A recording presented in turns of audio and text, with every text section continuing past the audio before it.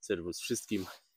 Dzisiaj znowu szlakiem cystersów, więc idziemy dzisiaj na bodajże cztery sztolnie. E, miałem wjechać do góry jeepkiem, ale nie będę komuś łąki rozjeżdżał. Biorę sprzęt, saperkę, plecak. W sumie to biorę wszystko i zmierzam do góry.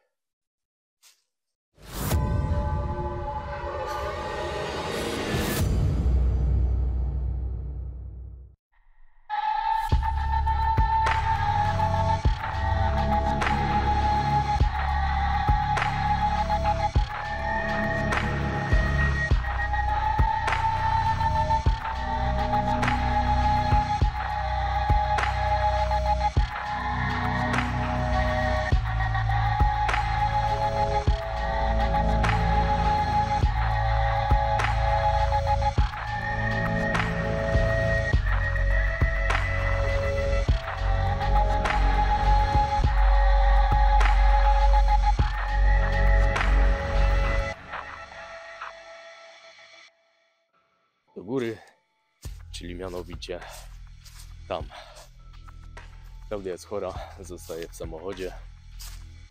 Mam linę, mamy ustalony czas, e, za jaki mniej więcej ma dzwonić, sprawdzić, czy wszystko u mnie ok. No i w sumie tyle.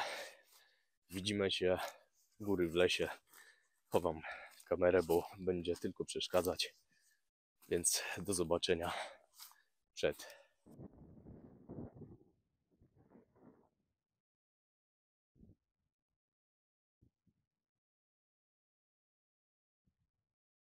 Wlazłem na górę, trochę się zasapałem. Dawno chyba nie chodziłem tak po górkach. No ale udało się. Mamy takie wzgórze, a w zasadzie ciągnie się ono na jakieś 2 km i praktycznie całość to kompleks podziemny, a mianowicie sztolnie, komory wydobywcze dolomitu, które łączą się ze sobą i powiem Wam, że różne rzeczy jeszcze tu można znaleźć. Pięć kroków dalej, ktoś już widzę, zaczął to zawalać właśnie gałęziami, celowo lub nie, drzewami. Może po to, żeby ktoś nie ryzykował i nie wchodził tutaj, lub po prostu, nie wiem, przeszkadzało mu to. Tego nie wiemy. Aczkolwiek tu właśnie pierwsze wejście się znajduje. Piękna, piękna góra. Zobaczymy, co jest w środku. Ja sobie przyszykuję sprzęt, linę. W razie czego, bo jestem sam i zaczynamy od pierwszej komory. Dobra.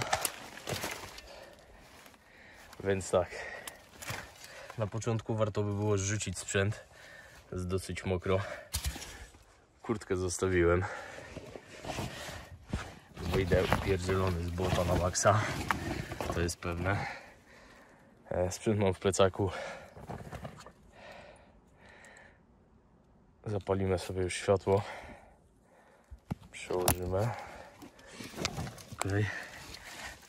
Będziemy powoli już zmierzać w dół. Muszę to wszystko zepchać. Dawno nikogo nie było. Wybaczcie, jeśli miotam kamerą, a właściwie telefonem, bo nagrywam póki co iPhone'em, a w drugiej ręce trzymam latarkę, także eksploracja jest dosyć, dosyć utrudniona niestety. Dobra, zepchałem sobie plecak. A ja postaram się wejść do środka. O, pięknie się wbijają gałęzie w plecy. No i dobra. Weźmiemy resztę resztę fantów.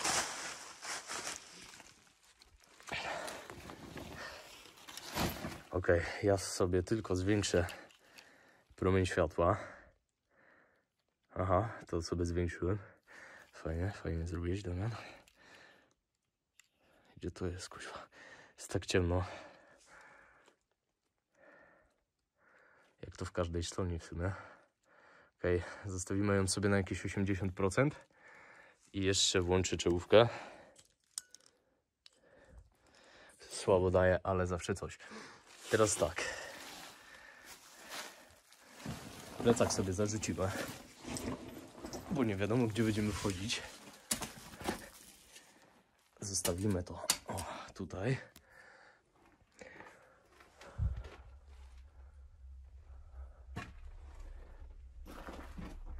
Ktoś miał niezłą ucztę. Ktoś, pewnie lis. Lisu. Tutaj w zasadzie jedna komora. Można by było sprawdzić wykrywaczem podstawę, ale oczywiście jeśli chodzi o polskie prawo nie wolno. Coś, coś nie coś można by było pewnie znaleźć. Tam to mnie ciekawi. Zerkniemy tam, czy to jest po prostu jakaś jama wykopana przez zwierzę. Czy mamy tam jakiś kompleks? Wygląda jak jama wykopana przez zwierzę, aczkolwiek na pewno się z czymś łączy, bo wątpię, żeby z taką łatwością coś mogło sobie tutaj wykopać tak długą norę. Nie wiem, czy to w ogóle widać, ale to się ciągnie już tutaj patrząc na jakieś 3 metry, a w połowie leżą kości, więc na pewno coś było tam zaciągane i zjadane. E, chciałem sobie przejść teraz tutaj do tej części, więc wezmę plecak, wezmę saperkę i przechodzimy dalej. Kompleks, bo o tutaj jakieś pozostałości po cywilizacji. Tutaj też jakaś jama. Kompleks tutaj, bo tak to mogę nazwać. Ciągnie się praktycznie na całe wzgórze. Z tego co pamiętam da się wejść do jeszcze trzech sztolni. Bo odkupywałem troszkę kiedyś wejście, wejścia. Więc spróbujemy dzisiaj e, zaliczyć wszystkie, żeby zerknąć jak to tutaj wygląda. Zobaczcie, jest to właśnie o czym mówiłem. Mamy ślady właśnie jeszcze po, po starej porcelanie. Nie ma żadnych sygnat, odznaczeń, żebyśmy mogli sprawdzić, czy polska, czy niemiecka, ale raczej na 90% niemiecka.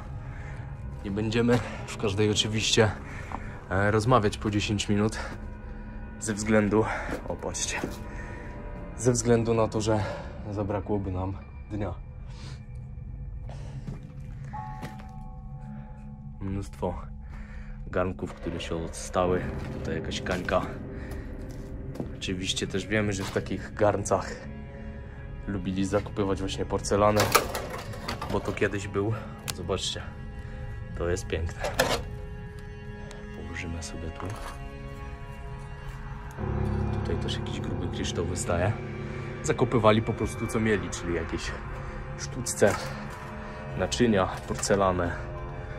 E, czasem i biżuterię, ubrania, firany, ponieważ to kiedyś miało wielką wartość dla nich.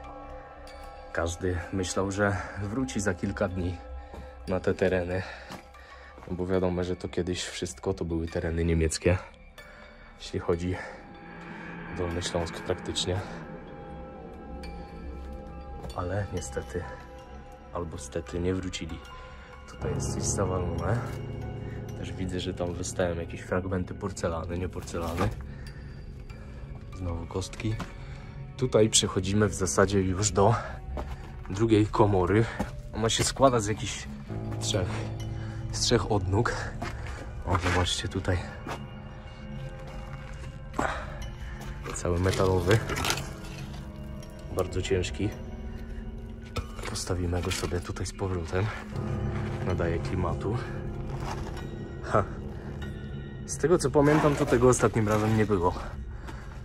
Skałki tutaj były odsuwane.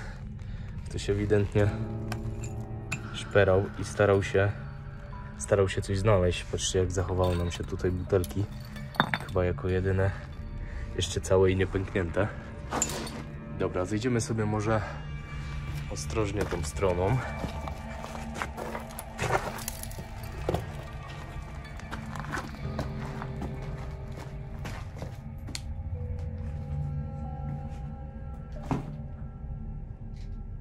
Kurczę, nade mną raz, dwa, trzy, cztery.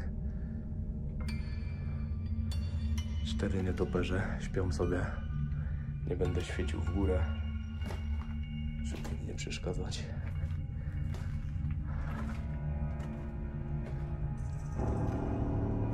W tym momencie włączymy sobie na filmie muzykę, a ja się zamknę.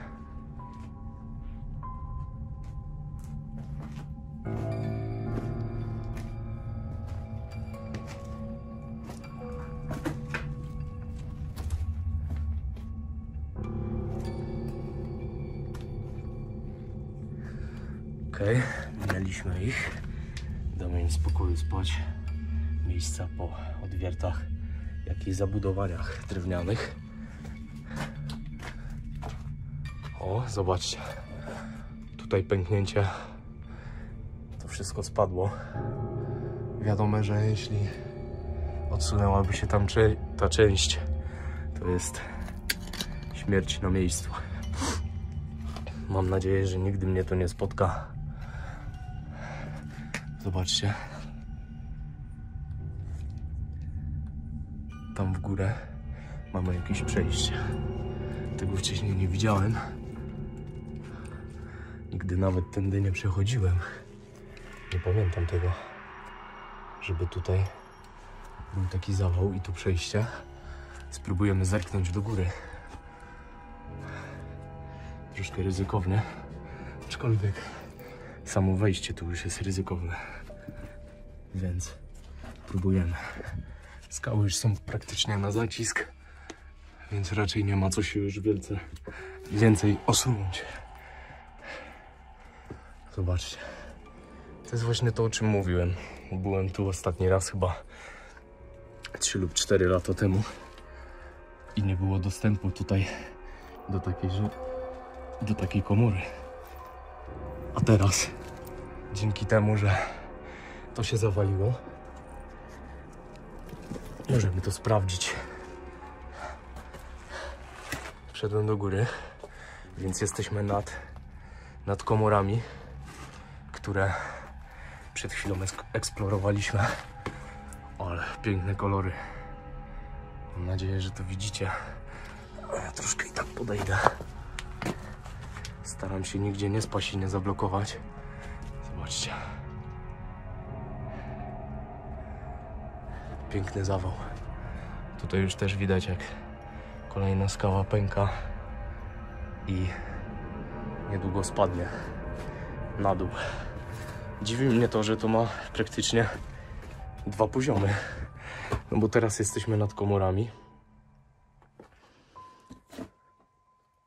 Więc może tak być. Okej.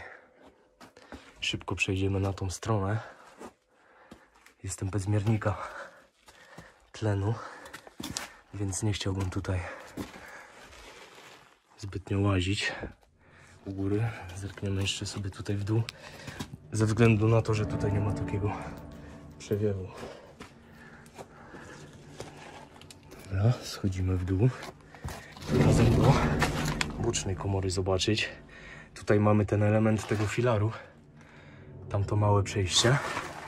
Zobaczymy, gdzie wyjdziemy.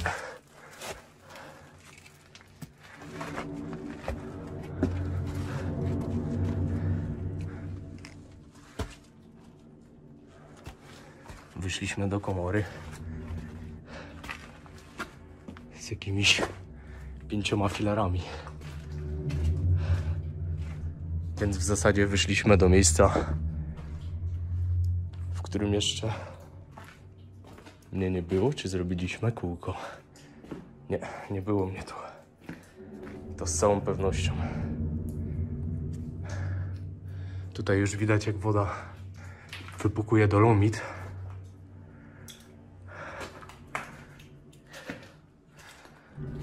gdzie woda, jest duże ryzyko. No kurczę, coś pięknego, że udało nam się znowu znaleźć kolejne pomieszczenia.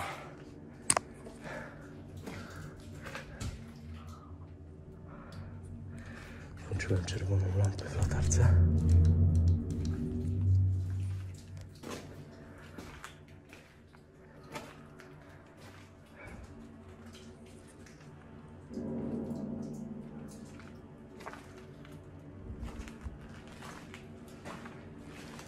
Gacek sobie wisi. Nie będziemy mu tam przeszkadzać. Dajcie mi chwilę, tylko zobaczę, czy materiał się dobrze nagrywa. Dobra, wszystko jest w porządku. Jeszcze nie było nas tam, ale to jest chyba w zasadzie przejście dookoła. Zaraz zerkniemy. Jak myślicie? Wielka komora wydobywcza, co? Coś mogłoby tutaj jednak schowane być. Ostrożnie po skałach, są strasznie śliskie. Tam byliśmy, tutaj mamy filar. To strasznie wisi. Tu mamy taką małą komorę z małym filarkiem. Zerkniemy.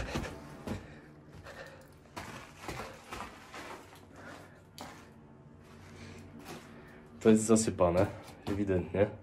Jest mały spad. Wszędzie kapie woda. Naprawdę olbrzymia komora. Chyba największa tutaj w okolicy, ale naprawdę dziwi mnie to, że dopiero teraz ją odkryłem i mogłem tutaj wejść. Dzięki temu, że to się po prostu zapadło. Nie chciałbym się tutaj zgubić. A uwierzcie mi, że można. Nie ma czego się bać i przede wszystkim panikować. Tylko trzeba eksplorować.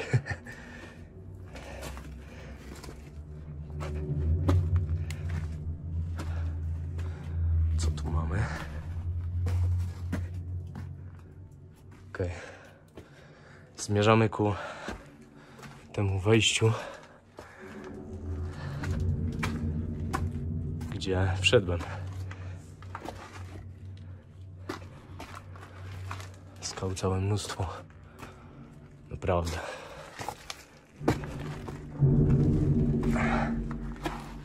Bardzo ciężko chodzić. Niewielka kwota brakuje mi do porządnej kamery. Patrzcie, tu mamy jakiś zawał. Tam mamy jakieś dalsze przejście. I tu mamy ten zawał. O, będzie co robić, jest trochę tego kopania już. Naszykowało się. Tu kolejny zawał. Nie wiem, czy to nie było jakieś e, kolejne wejście.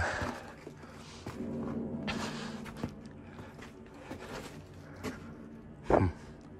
Ciekawe. Naprawdę.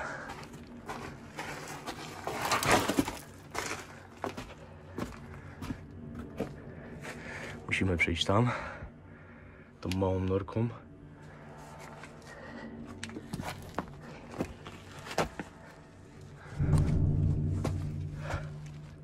Uwierzcie mi, że jest po czym chodzić. Jest tego sporo tutaj. Tutaj następna czacha.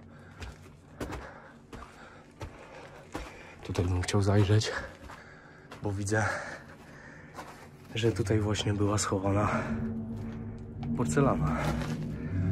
Zobaczcie. Tutaj ewidentnie jakiś mały depozycik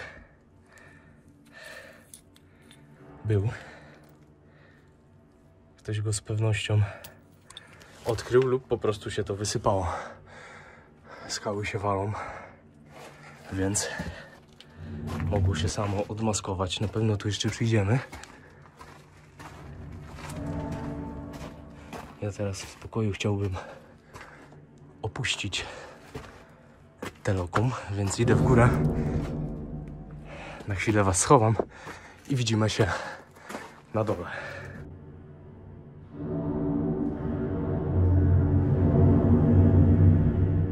Udało mi się zejść na dół.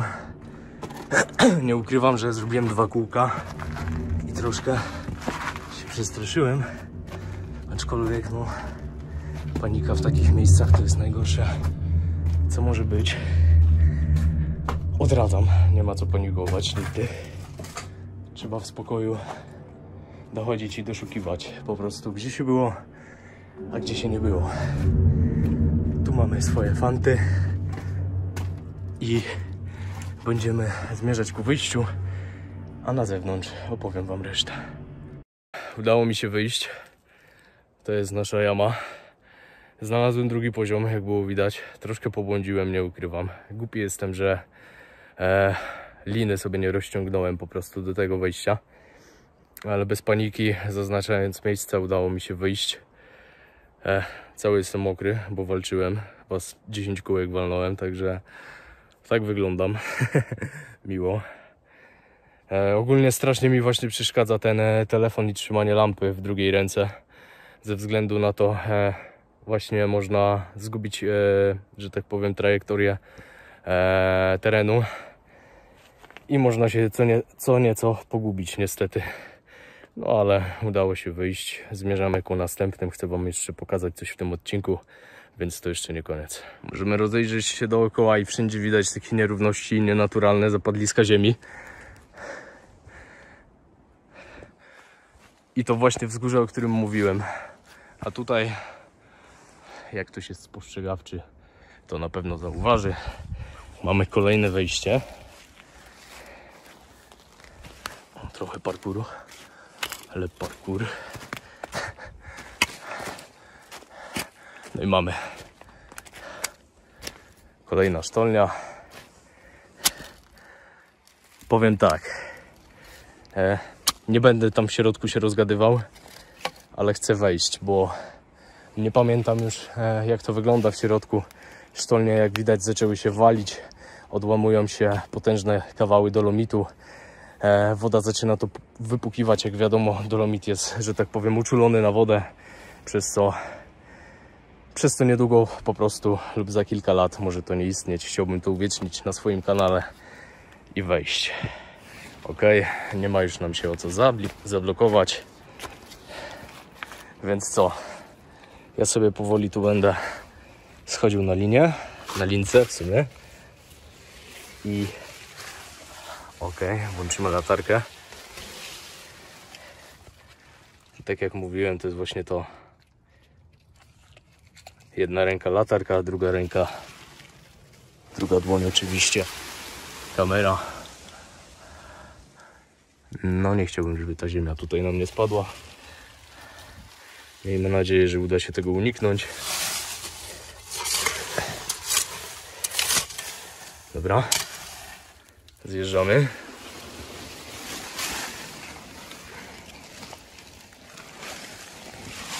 Ok. Tam jakaś reklamówka. Tu mamy taką małą komorę.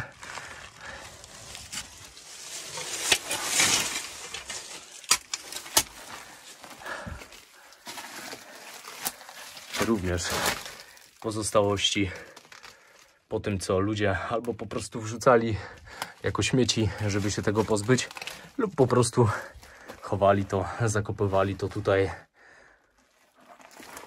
Tacy ludzie jak my, poszukiwacze, odkopywali to lub po prostu gdzieś to wyłaniało się z ziemi. No i ludzka ciekawość, trzeba to było sprawdzić. Niestety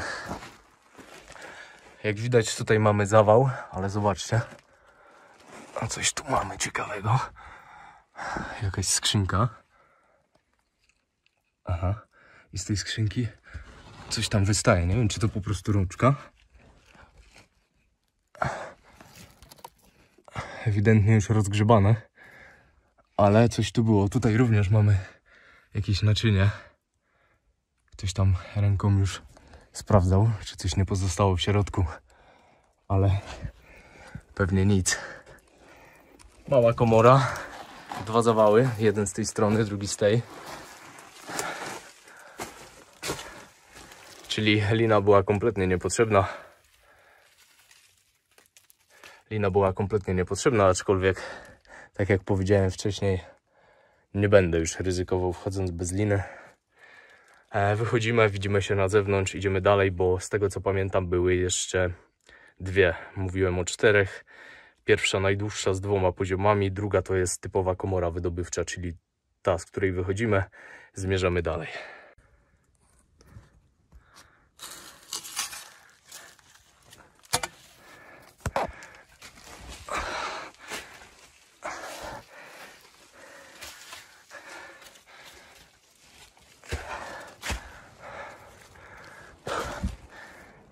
Dużo łatwiej jest wyjść z liną, więc jak najbardziej na plus.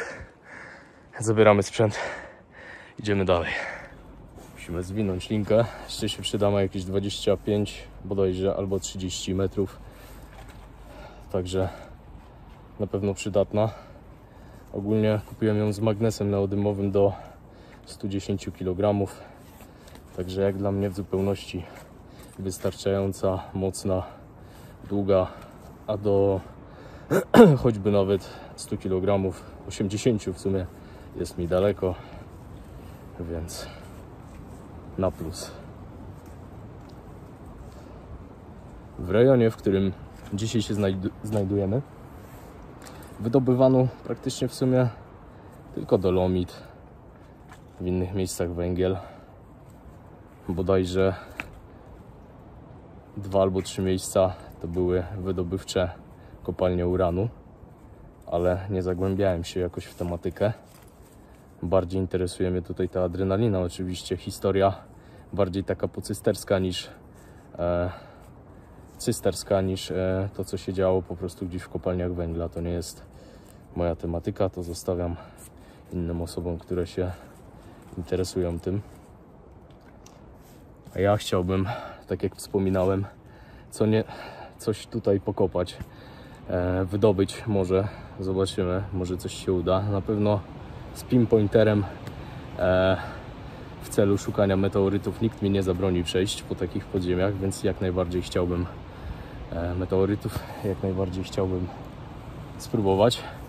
No i tak jak było widać, idzie jeszcze znaleźć inne korytarze, które nie były udostępniane wcześniej na YouTube, bądź były, nie wiem, nie widziałem, a oglądam tutaj ludzi w tematyce.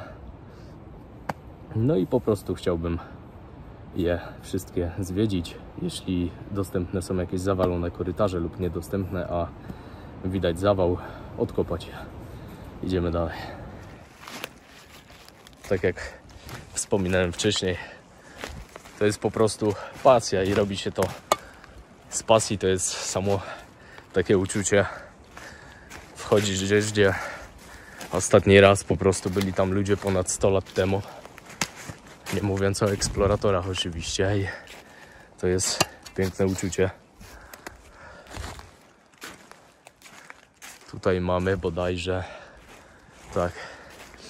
Tutaj by wychodziło na to, że mamy czwartą, e, przepraszam, trzecią sztolnię. Z tego co pamiętam, ona się strasznie wali. E, u góry nie ma po prostu skał, które mogłyby trzymać tą glebę. Jest po prostu chyba tylko ziemia. Z tego co pamiętam, zajrzymy. Nie będę wchodził jakoś e, do środka, ponieważ aż takim ryzykantem nie jestem, ale pokażę Wam to.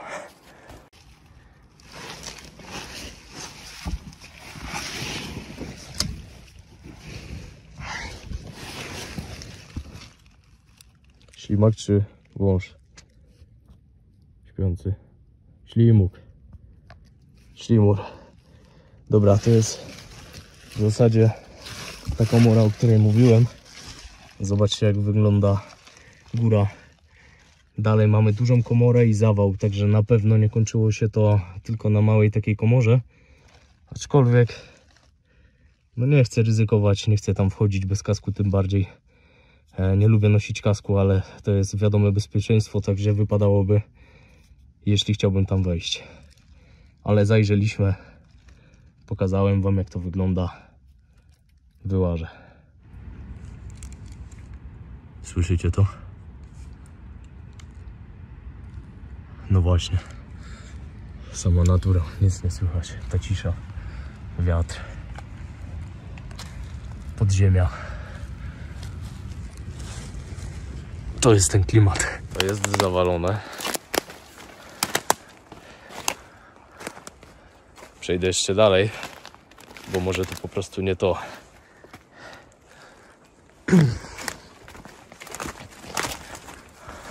Ale tytuł miał nosić nazwę cztery sztolnie, nie trzy. O, no właśnie.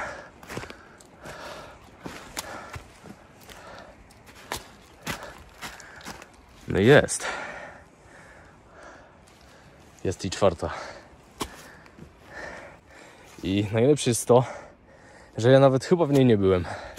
W tamtej byłem na pewno. E, znaczy się w tamtych byłem na pewno, ale w tej bodajże mnie nie było. Więc warto by było zaczepić linę i zerknąć do środka. Chyba, że nie chcecie. Dobra, idziemy. Latarka jeszcze spokojnie wytrzyma. Pa. A my schodzimy. A, tak, świeć sobie w oczy. No. Nie mam tu nic cennego, więc jak wyjdę i tego nie będzie, to i tak cię znajdę. Mokro. Okej. Ślisko. Zjechałem na dupie.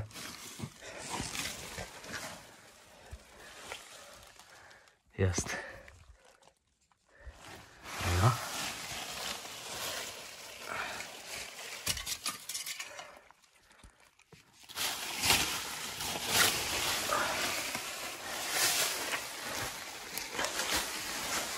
Jeśli jeszcze Cię nie zanudziłem i oglądasz dalej ten odcinek, przypominam, że mamy swojego Patronite'a.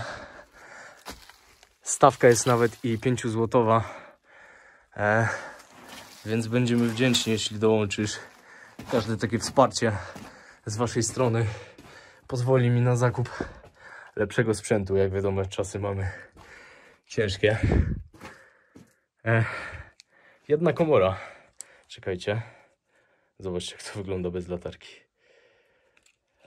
Dobra, podbijemy, bo i tak to ostatni. Co jest? Już zepsułaś się? No nic, nie chcę się rozjaśnić. Spróbuję jeszcze raz. Działa. Dobra. Rozjaśniłem, żeby było to wszystko lepiej widać. Jedna komora. E, tu mamy pozostałości jakichś naczyń i nic więcej. Jak nic więcej? Ślepy jesteś? Mnóstwo. Znowu stare naczynia. Nie mam pojęcia co to było. Aha, od pieca na wyczystkę prawdopodobnie. I mnóstwo pobitych garnców porcelany starej więc tylko to się tutaj ostało. Tutaj mnie ciekawi to miejsce, bo wygląda mi na zasypane po prostu. Nie wiem, co wy o tym myślicie, ale tutaj to sklepisko fajnie ciągnie w dół. Tutaj mamy odwiert. A skoro ktoś tu robił odwiert, to zapewne musiało to iść niżej, no bo nikt nie leżał i nie robił tu odwiertu. Taka dedukcja. Sherlock piękne kolory i to wszystko, co tu można podziwiać. Przede wszystkim to, że to zostało wykute ludzką ręką. Wychodzimy, ja sobie ogólnie zerknę, czy czegoś jeszcze kiedyś nie przeoczyłem. Ale to już raczej wszystko na dziś. Biorę swoją linkę i wychodzę.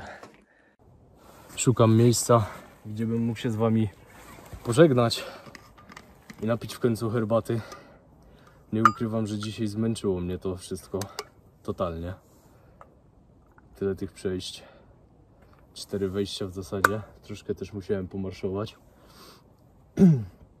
Mam nadzieję, że materiał Wam się spodoba. Dajcie znać w komentarzu, co ogólnie myślicie o tym e, miejscu, szczególnie o tej pierwszej e, sztolni, w której byliśmy, z dwoma poziomami. Czy Waszym zdaniem jest to kompleks? czy może po prostu komory wydobywcze, aczkolwiek ta pierwsza wygląda na coś więcej i jest dużo większa niż jej po prostu tutaj bliźniacze. Po drugiej stronie za mną, na tamtych polach, mamy jakieś trzy sztolnie, z czego dwie zasypane. E, W te lato, na pewno w te lato, zobaczycie materiał z wejścia do nich. Wszystko w dzisiejszym odcinku. Mam nadzieję, że Wam się podobało. Jeśli Wam się podobało, pamiętajcie o subskrybowaniu, lajkowaniu i udostępnianiu naszych filmów. Zależy nam na tym, by dotrzeć do szerszej publiki poszukiwaczy i pasjonatów podziemi. A nie tylko, bo robimy też urbex, jak wiecie.